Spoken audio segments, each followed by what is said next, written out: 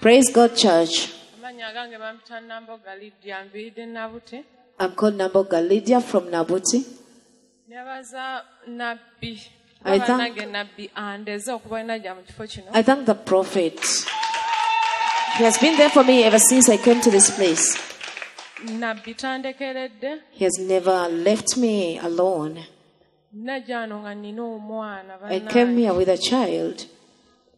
Nga, kati omwana malwaliro gonna gonna bangobye ku international mengo buli wamu nga They bangobye had chased me away from all the hospitals.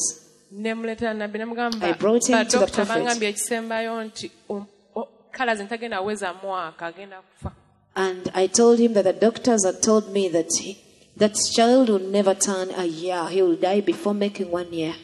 Naŋŋamba omwana oyo agenda kubeerawo abeerewo The prophet told me that he will be alive and survive. Amen.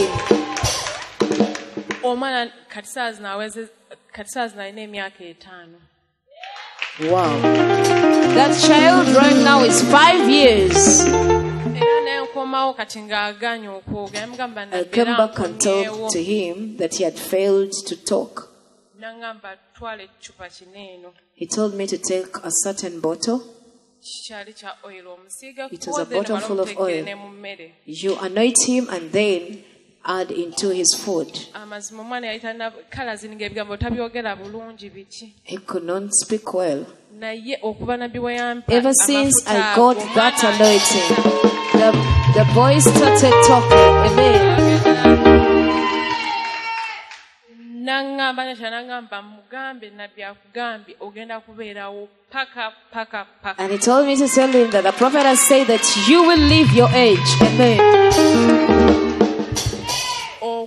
bannange nabbi nze simanyi I don't know, no, don't know. nabbi nalina omukolo gwange ogw'okwanjula My introduction ceremony, nabbi yagamba ogenda kufuna sente z'otamanyi na muwendo I had an introduction ceremony and the prophet was like, you get money, kwagenda bulungi abayimbi n'abayimbi bonna baabeera ku countless money.